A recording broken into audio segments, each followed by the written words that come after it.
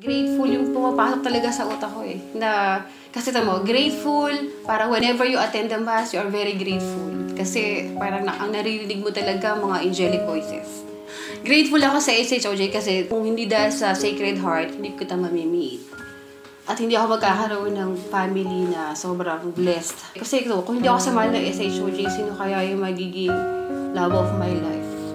I don't really parang imagine myself being with someone kung hindi ikaw. It's you na nakasama ko, it's because of SHOJ. Sa akin siguro yung God's love. God gave us the talent and ito yung sa Sacred Heart, doon na-enhance yung talent natin, doon natin naipamalas sa ibang tao and we give back the glory sa Kanya. Kaya naman nabe-bless tayo. Talagang hanip, galing.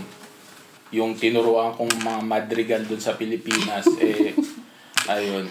Parang Ah, sila. Parang sila. Ayun. So, talagang galing.